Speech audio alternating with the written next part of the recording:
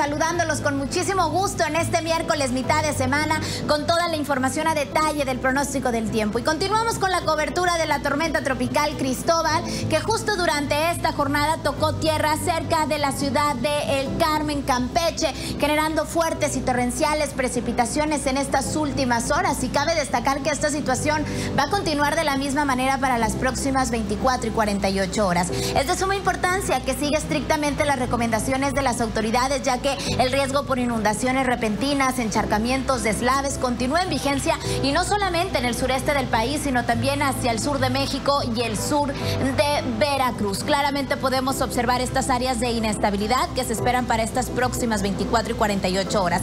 El resto del país prácticamente se mantiene con condiciones relativamente estables y sin precipitaciones significativas.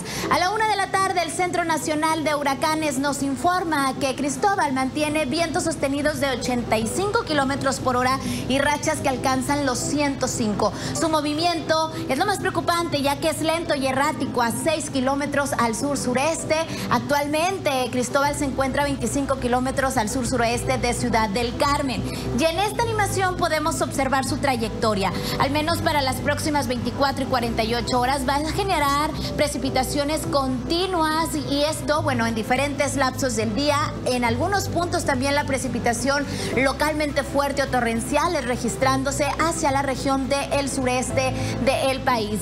El pronóstico es que para las próximas 48 horas e incluso se debilite, sin embargo, nuevamente estará tocando el Golfo de México como tormenta tropical en las próximas 72 horas, enfilándose hacia el norte, dirigiéndose hacia Luisiana. De igual manera, nosotros lo vamos a mantener bien actualizado. Mientras tanto, es importante que usted siga las recomendaciones de las autoridades.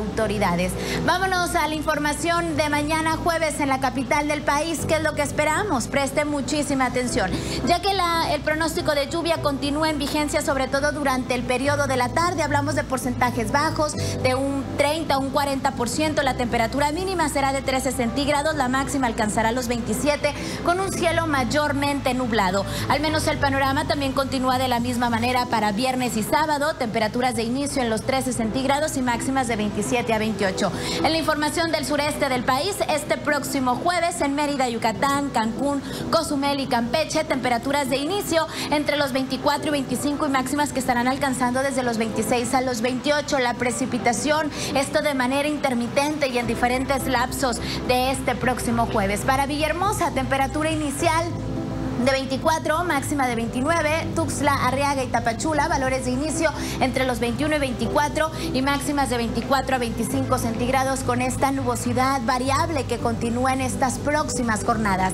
Para la ciudad de Monterrey, 32 con 31, cielo parcialmente soleado, una ligera probabilidad de lluvia, hablamos simplemente de un 20%, al igual que en la Perla Tapatía. El valor mínimo marcará los 17, la máxima los 35, un tiempo sumamente caluroso y bochornoso, manténgase bien hidratado y sobre todo proteja su piel de los rayos solares. Si hablamos, por ejemplo, de Apatzingán, donde las altas temperaturas nada más no dan tregua. Valor máximo de 40, mínima de 23, cielo parcialmente soleado, al igual que en Hermosillo, 23 con 28, Iztapa, 23 con 29, Acapulco y Huatulco, temperaturas mínimas en los 24, 22 y máximas de 31 a 30 centígrados. Es sobre todo en Huatulco y en Oaxaca, donde las áreas de precipitación localmente fuertes se estarán registrando este próximo jueves. Para Toluca, 7 con 24, nubosidad media. En cuanto a Puebla, 13 con 29, cielo medio nublado. En la parte oriental, sobre todo hacia Jalapa y Veracruz, las áreas de precipitación localmente fuerte en vigencia para mañana. Valor mínimo en los 18, máxima de 26 en Jalapa y en Veracruz 25 como mínima y máxima de 30 grados. En León, 16 con 32, nubosidad parcial al igual que en Pachuca, 11 la mínima y máxima de 23 centígrados. En Saltillo, 15 con 27, nubosidad parcial y chubascos, pero solamente en zonas de Hasta aquí mi reporte del pronóstico del tiempo. Yo regreso aproximadamente en una hora. Quédese con nosotros.